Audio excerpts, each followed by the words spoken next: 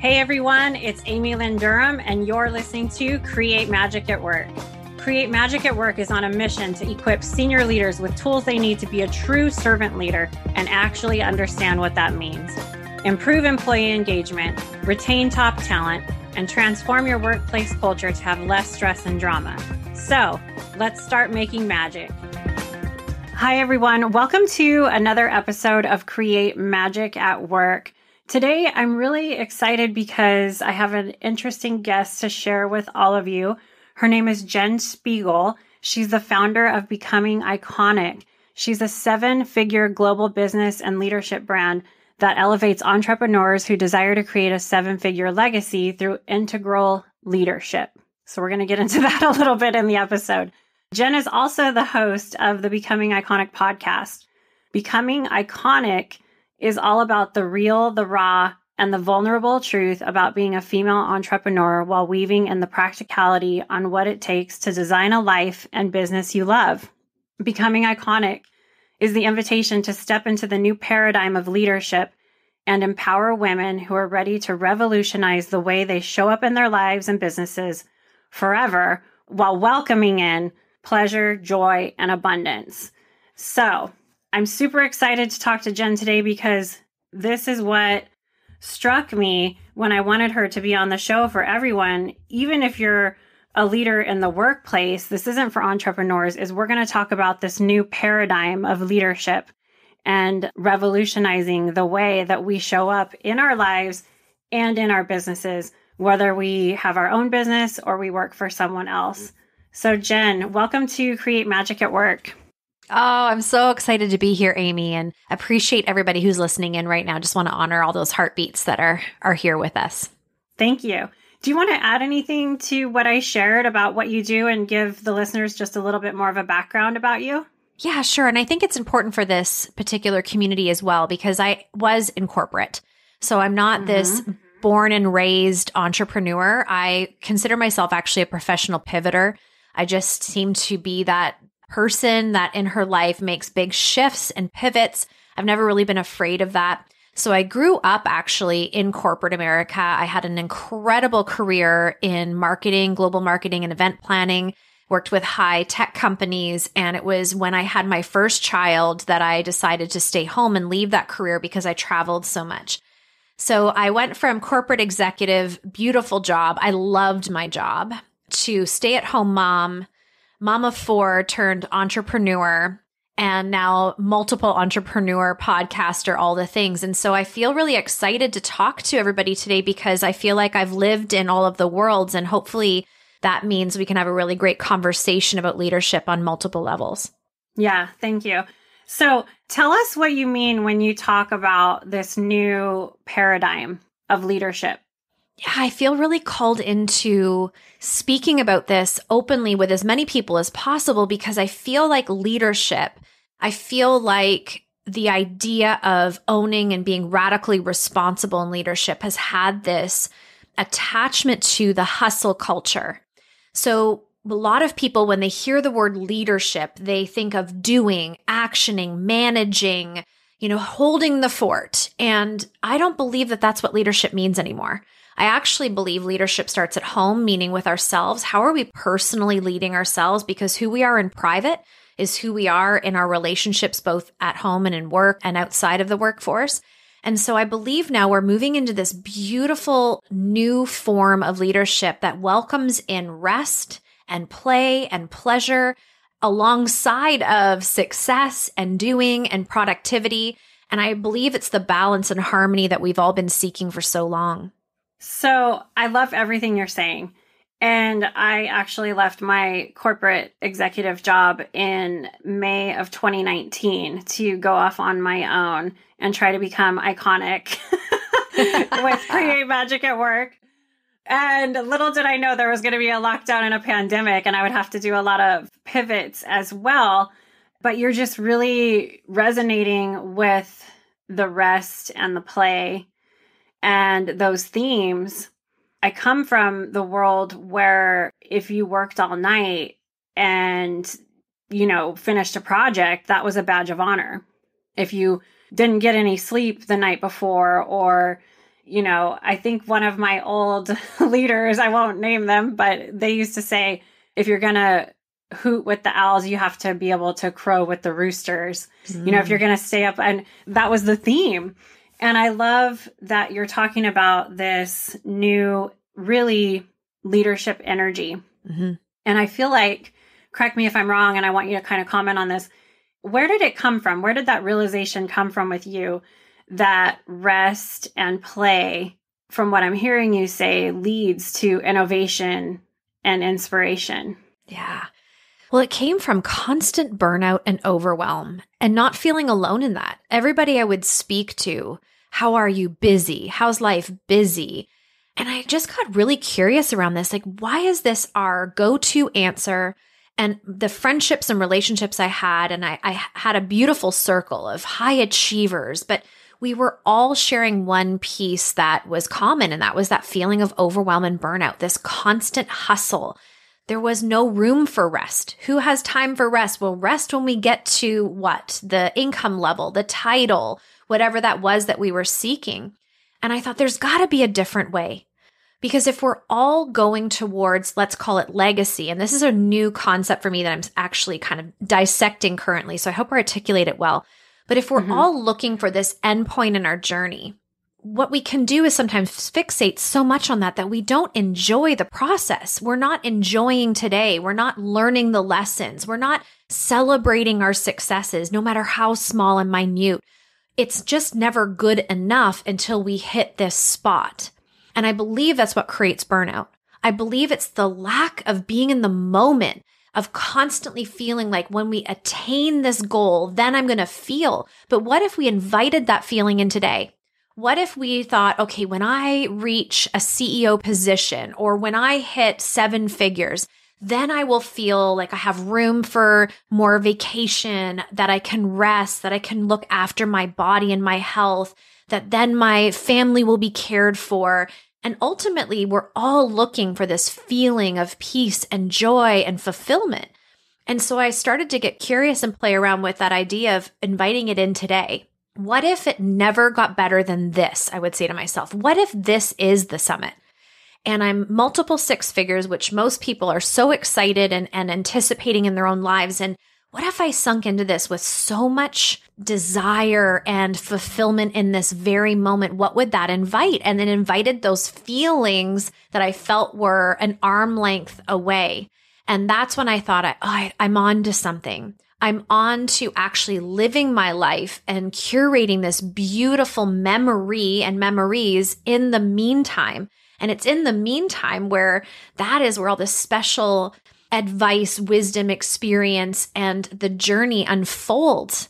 And we give so much emphasis to this end goal. I mean, even if you think about the word legacy, you know, I want to build this legacy or I'm building this for my family. So when I go, they have, well, then we're gone and we can't even enjoy that with them because we're not a part of that. What if legacy was how we led today and how we felt today and the way we greeted people today and the way we cared for ourselves today? And that was, in fact, what it was meant to be all along. I love that. It's embodying the energy of, I'll just, I'll say abundance for me I'm, mm-hmm. today yeah. And I love how you say, what if nothing changed today? Are you okay with that? And really tapping into enjoying the journey because when the journey is over, we're done. So what is this rate, this imaginary race that we're, or this finish line that we're running towards? And you really hit something that resonated with me, and I'm sure my listeners as well. And it's this, it's almost this feeling of guilt especially when you leave the corporate space that you almost have to unthread mm-hmm. and unwind when you don't have anything on your calendar. Or when you know when you were saying the answers are i'm busy i'm busy. We're almost pro we are programmed to be busy. And to me the space i came from feel guilty if you're not Right. And I've noticed even in the past couple of years, if someone asks me, you know, on a Monday or a Tuesday, you know, what are you doing today? I'm working. I'm working. I'm working. Mm-hmm. Just because I don't have a boss and I started my own company, I'm working. I'm busy. I'm busy. And it was like this this programming I had to really get a hold of my calendar and own it and own it in a way that I was removing things from it mm-hmm. rather than filling it up. And then understanding that this is what you said again, just a little bit in a different way the complexity of thought and perspective taking in spiritual intelligence, the polarity, the doing and the being, balancing those. Because if you're overdoing, like you just said, it leads to burnout. And in the being, guess what? You've discovered it. That's why you're so successful now. That's quantum leadership. That is tapping into innovation and inspiration because you gave yourself time to do that. So I love how we're tying into all yes. of these things. I want to know what your thoughts are because you talk a lot about doing inner work and how it starts with you. We sort of tapped into living in pleasure and enjoy today. And what does that feel like? And how can I embody that energy today? And what if today was enough? How does that work? No pun intended, when you have to do inner work. so what is your take on that? yeah, it's a great question and and something that is not going to be very sexy or pleasurable and that's by doing a lot of healing. So in leadership, and leadership can be one person. It could be leading your home, it could be leading a team, whatever that form looks like for you. When we are leading our lives and we have stifled anger, resentment, overwhelm, sadness, we all have micro and macro traumas. And when we haven't dealt with that, which we've never been taught, so we just have to own that piece. We've not been taught to really look at those things and stare them down and kind of pick them apart to take that lesson and know that it's chiseling us into this great leader. But when we don't do that, what happens without us even realizing is we're projecting and almost like spilling those emotions out and upon people. So in leadership, it's such a sacred position I mean, imagine you're leading somebody or multiple people. What a beautiful honor and privilege. So, isn't it our responsibility to make sure that we are honoring ourselves and honoring those beautiful people by kind of cleaning up our backyard? I look at it like weeding the garden.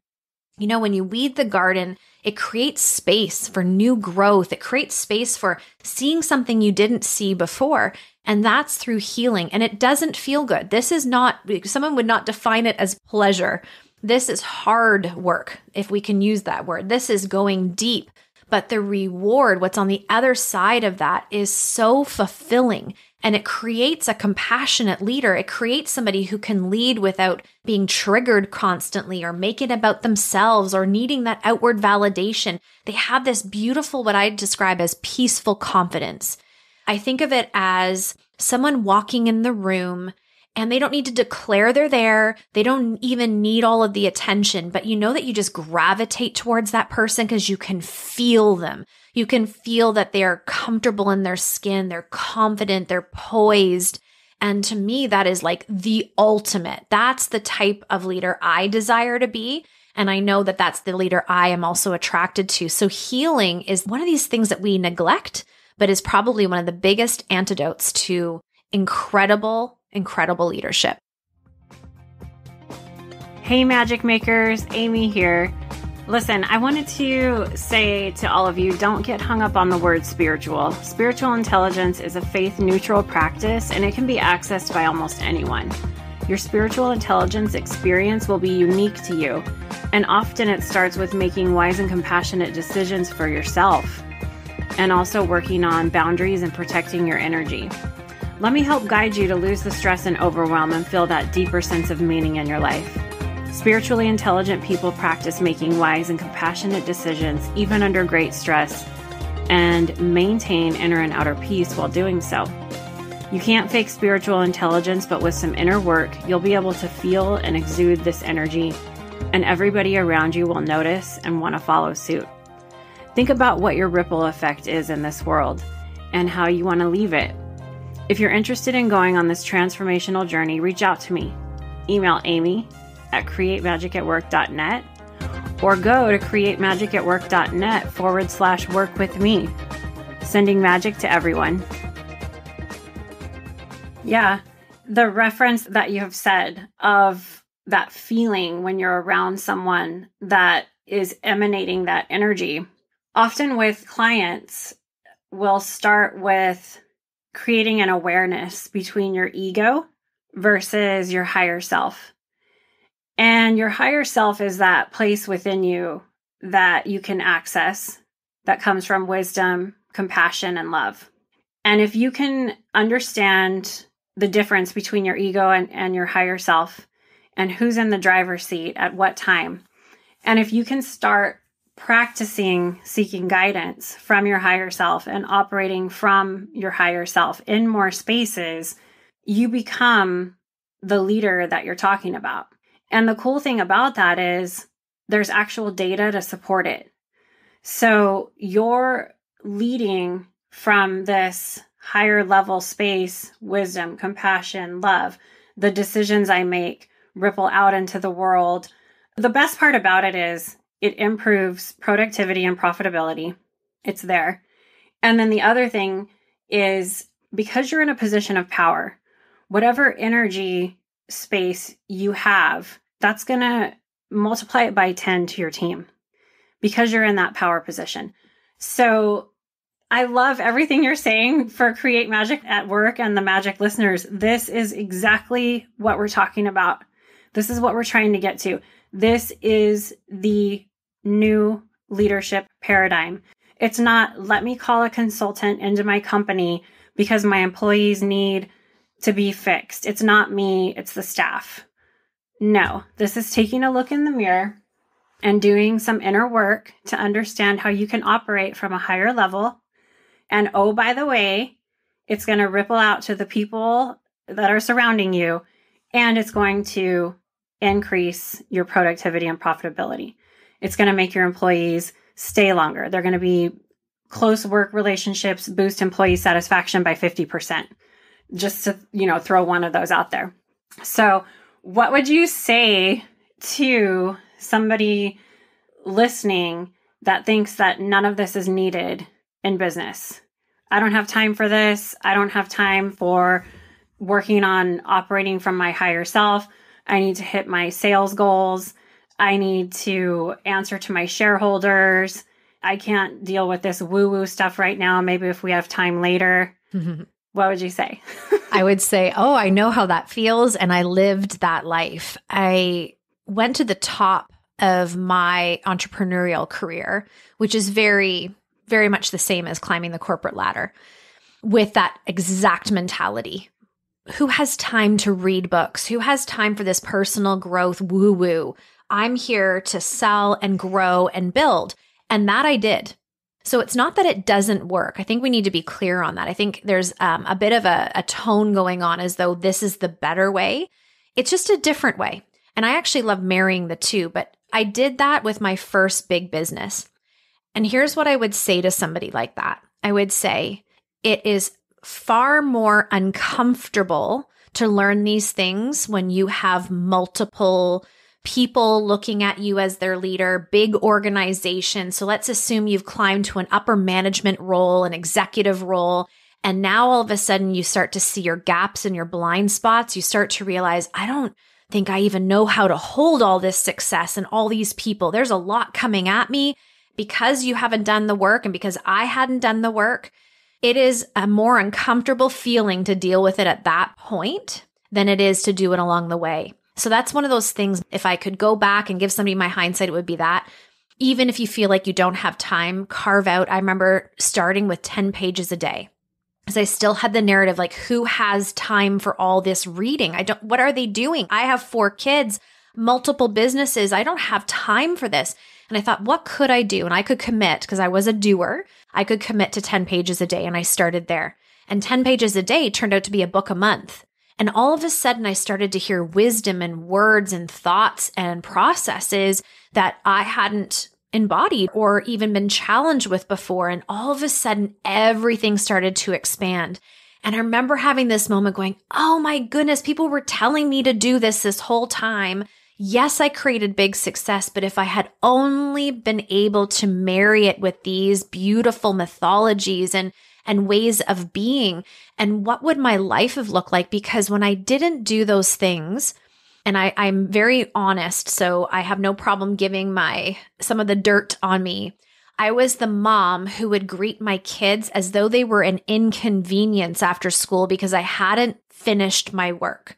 So they would greet their mom with me shushing them because I was still on the phone or with my head buried in my phone, answering text messages.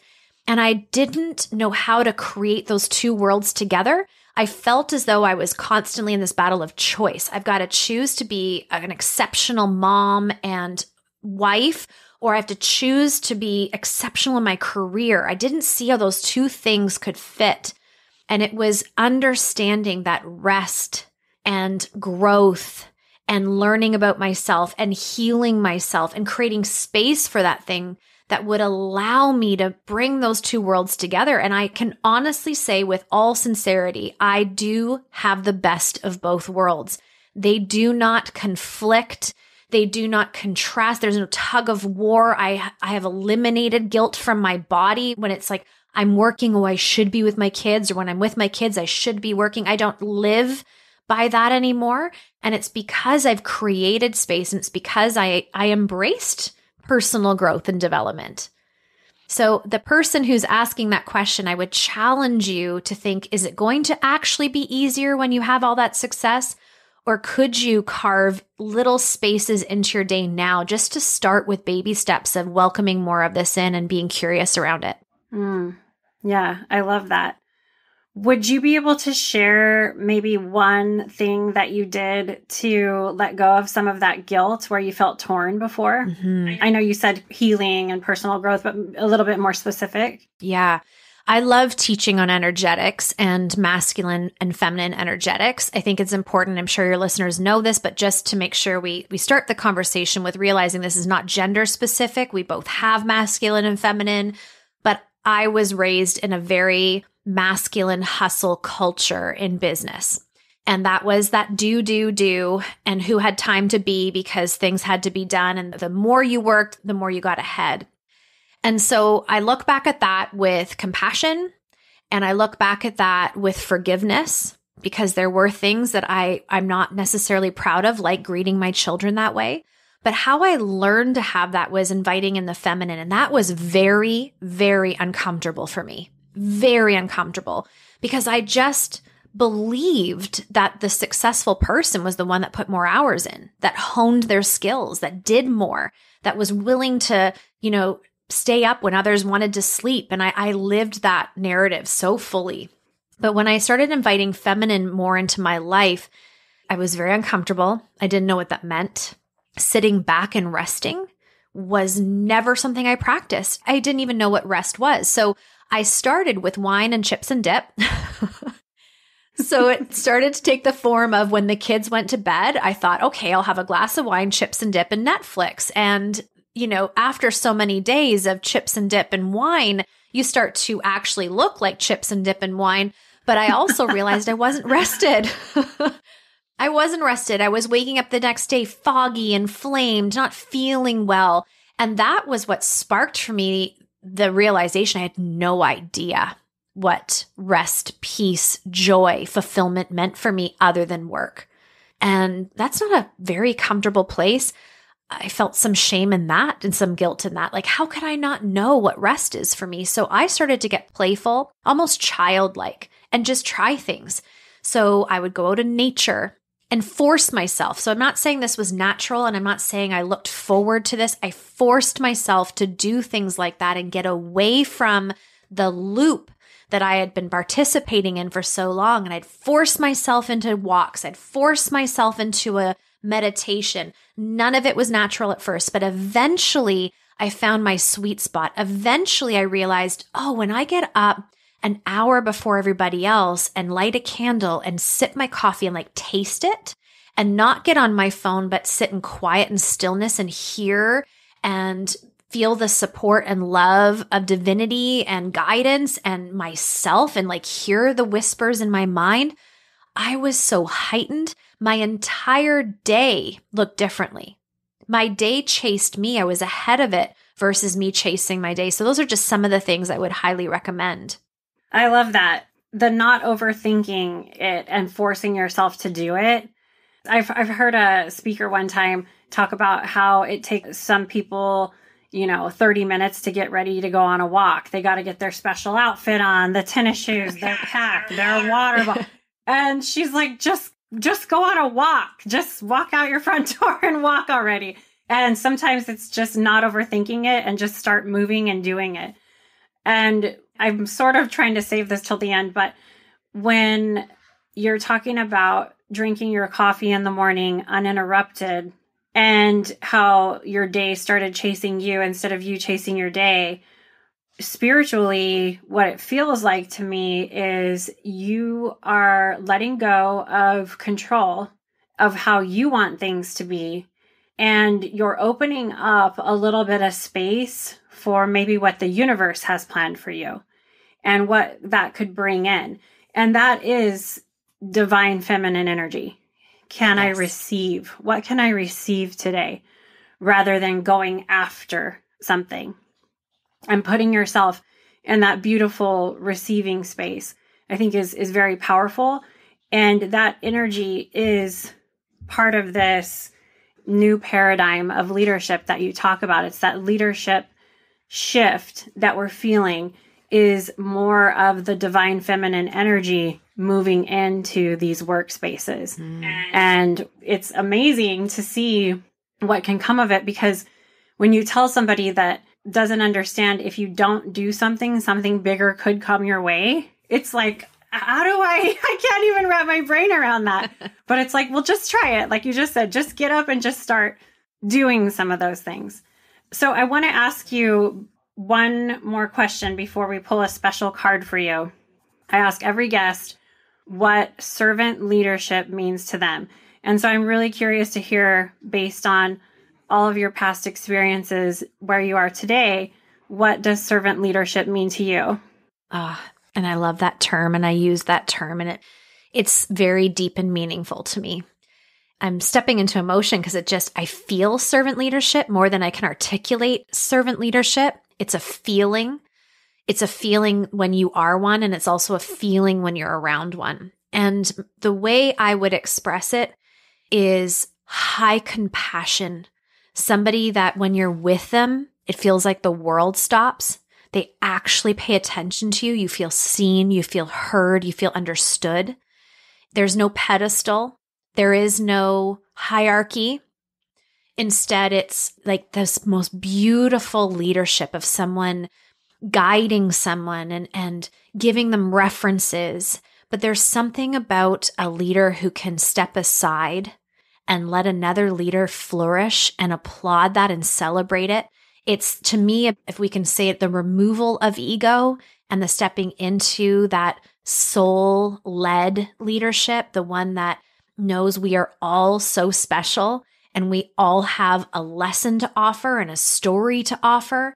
And I believe when we step away from this ego of feeling, I, I, believe our culture, our world is addicted to bigness right now, addicted to income, addicted to title, addicted to achievement.